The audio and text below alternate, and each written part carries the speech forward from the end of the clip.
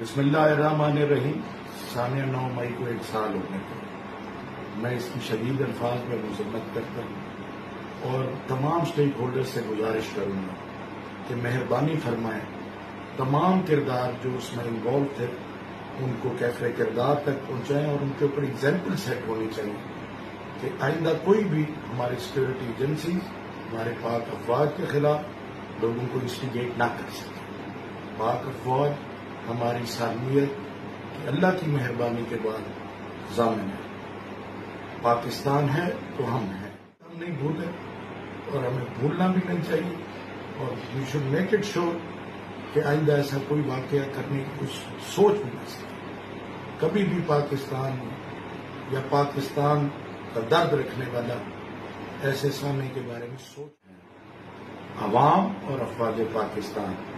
ہم سب کا یہ اولین فریضہ ہے کہ جہاں پہ پاکستان کا سوال ہے، وہاں پہ پھر کوئی اور سوال نہیں اٹھنا چاہیے۔